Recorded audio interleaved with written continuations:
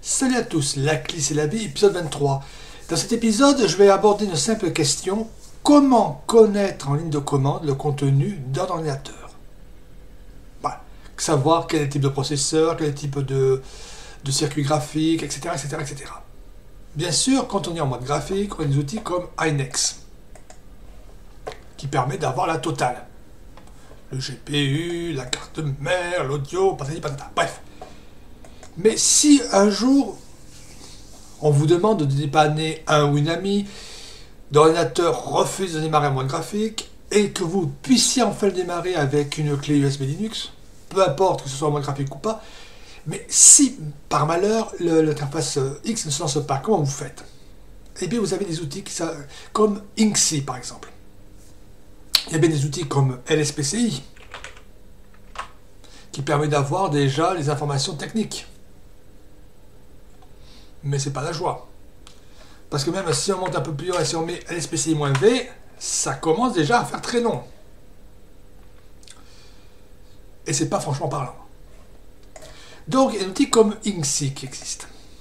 Voilà, la page officielle, c'est Full Feature System Information Script. Bon, même si la, dernière version date d'à peu près deux ans, elle est bien pratique. Là, je vous mettrai tout dans le descriptif comme d'habitude. Donc, si je prends... Bon, le script existe pour toutes les distributions, comme c'est précisé sur la page, je vous le remontre. Voilà, donc ça existe pour SolusOS, Crunchbang, Epidemic, Linux Mint, Antix, Arch Linux. Donc en gros, soit au pire, il y a un paquet, au mieux il y a un paquet, au pire vous allez sur le GitHub.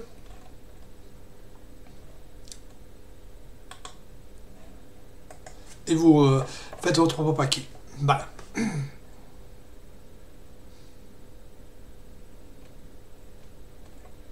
la dernière version officielle date de deux ans, le code est encore développé. On peut voir que la dernière mise à jour date de du 27 novembre. Quand j'enregistre la vidéo, c'est le 27 novembre. Voilà, donc il y a encore des petites modifications qui sont arrivées. Bref, l'outil continue de développer. Donc je vais vous montrer l'outil Inksy.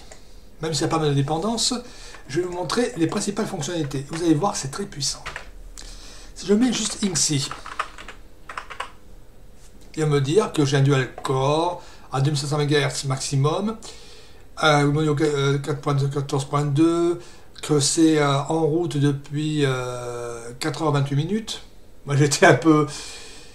il est 9h du matin, donc c'est vrai que j'ai été un peu lève tout ce matin, bref. Que j'ai 731 MB sur les 3950 disponibles utilisés, que mon disque dur est utilisé à hauteur de 15%, qu'il y a 136 processus, bref, voilà.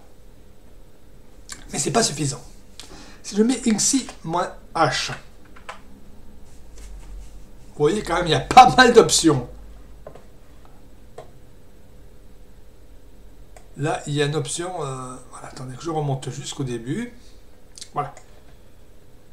Moins A pour L'option la plus, la plus, pratique, c'est moins F, full input. Parce que là, on a tout, ce qui est affiché. Parce que vous avez bien sûr les options plus importantes, plus pointues. Mais déjà, INSI moins F majuscule, ça permet d'avoir un bon aperçu. Parce que si je fais X-F, voilà. Ça me donne pas mal d'infos. Bon, il me dit que mon note s'appelle Fredwark, que c'est 64 bits avec un Mate Telescope 1.191, que c'est un compact Presario avec le numéro de série.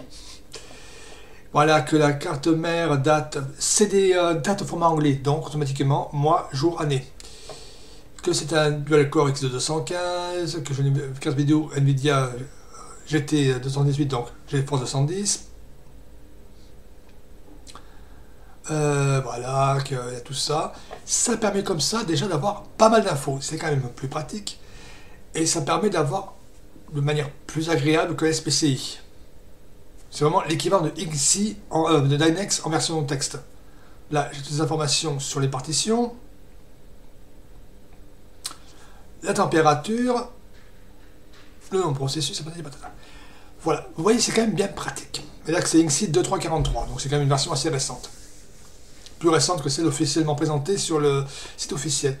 Ça vous donne un aperçu rapide de l'ensemble. Par exemple, il me dit que ma carte réseau, c'est une MCP61 Ethernet, que voilà, l'adresse MAC et compagnie, que mon disque dur est bouffé à hauteur de 15%, ce qui n'est pas excessif pour un, un Tera, Oui, il y a toutes les informations. Ça vous permet d'avoir l'équivalent de INEX en mode texte. C'est toujours pratique. Et ça vous permet comme ça de chercher des infos. Si je veux des infos par exemple sur le network, je crois que c'est moins N majuscule.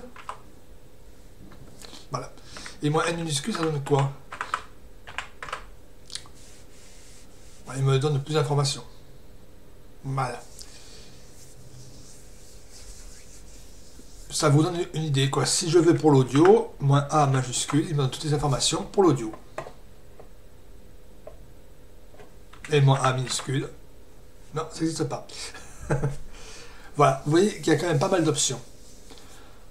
Si vous avez un jour besoin de cet outil, il vous sauvera la mise pour savoir, bon, quel type de carte tu utilises pour faire ci ou pour faire ça. Ne serait-ce que par exemple pour détecter un circuit Wi-Fi qui est un peu capricieux.